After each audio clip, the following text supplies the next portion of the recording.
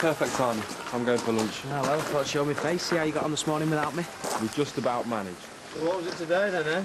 Dredging supermarket trolleys out the canal. Yeah, right. Something about a bunch of delinquents in 20 foot of Dominion water makes him a little bit nervous, you know what I mean? Come on, man. Back into it, you know.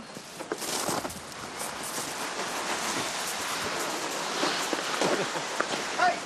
What the hell do you think you're doing? Oh, Ryan, what you like? Just ruined.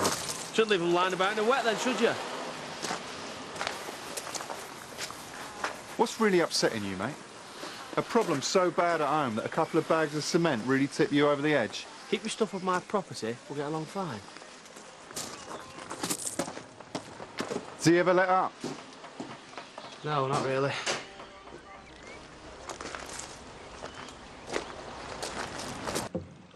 Made any new best mates yet?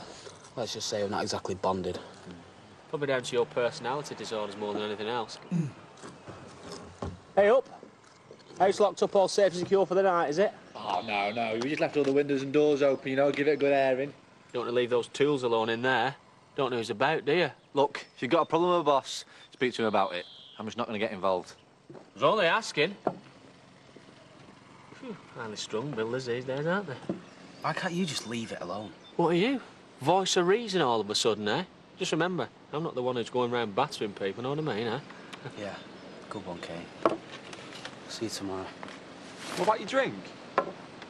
Nice one.